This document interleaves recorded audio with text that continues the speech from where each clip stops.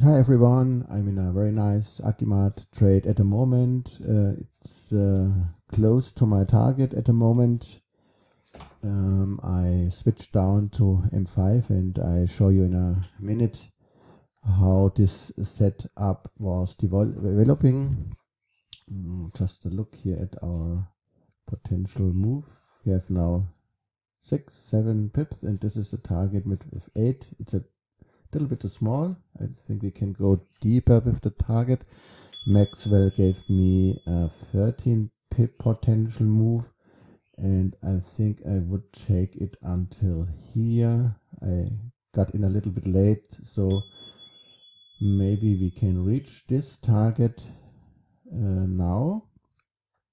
Uh, we just look at our signal time uh, frame. It's the H1. Please don't care about this thing here. I am developing at the moment um, some Maxwell stuff in it and um, I need some numbers here to calculate. It does not look at your uh, screen the same way. Um, I got a lot of signals and I'm experimenting a little bit with the Maxwell, uh, which um, I want to add to the Uncle scanner. And um, this um, numbers here uh, shows me how good or the Maxwell is and I have to put this in another form that you can read it and, and and the only signals from all this here. The best one was the uh, pound um, yen.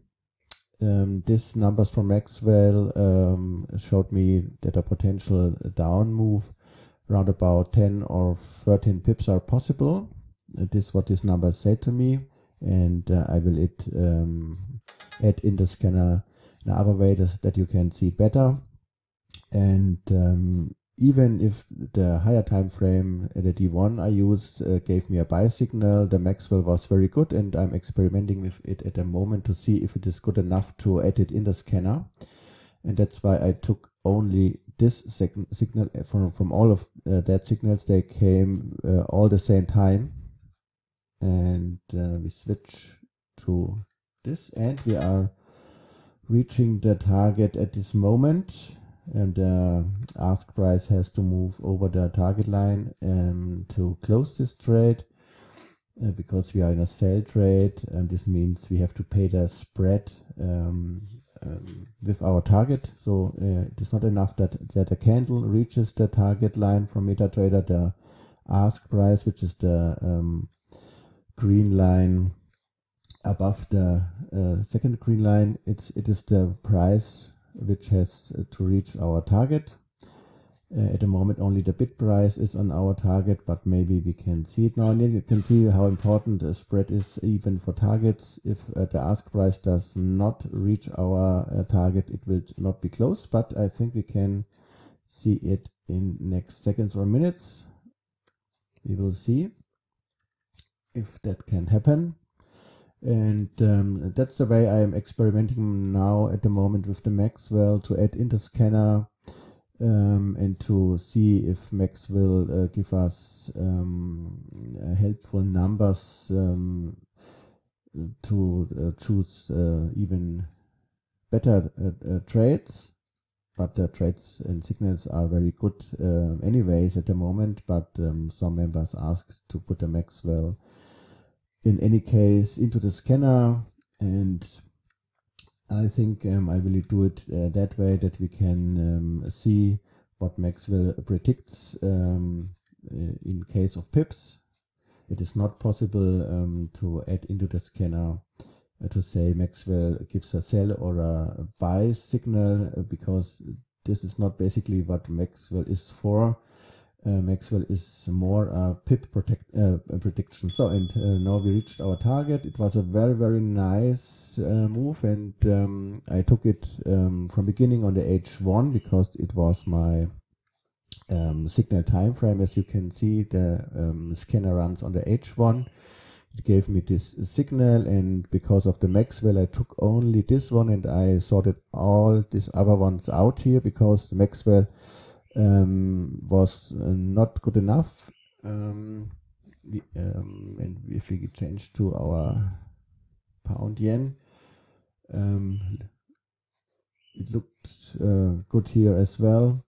And then I switched after I um, took the trade. I switch to M5, which I normally do to manage this trade because you can much better see uh, how the trade is going on. And I then set the target, in this case, to 10 pips.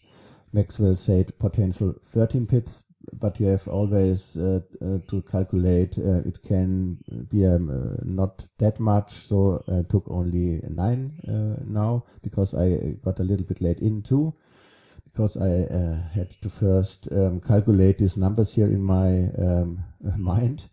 And that's why this Maxwell calculation has to um, enter in another way to the scanner. It is only a development status at the moment, but um, I liked it at, for this trade and showed if you use Maxwell uh, or um, have a look at it, then you can maybe um, sort something out here. But as with every filter, uh, the more filter you use, um, the higher risk is that you filter out good trades too. So it's up to you if you want all these filters or if you stick to the simple Uncle Lee method.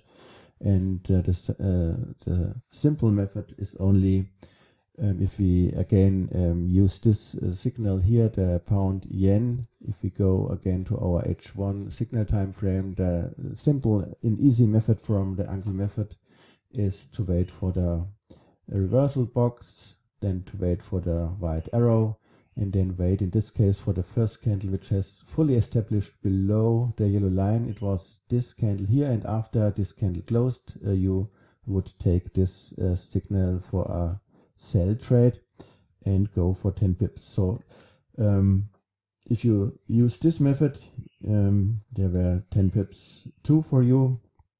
And um, there are many ways to trade it. Um, but um, I'm experimenting further with this Maxwell thing here, and um, if I see it is good enough to add into the scanner, I will do it. Um, and if not, I will not do it. Happy trading.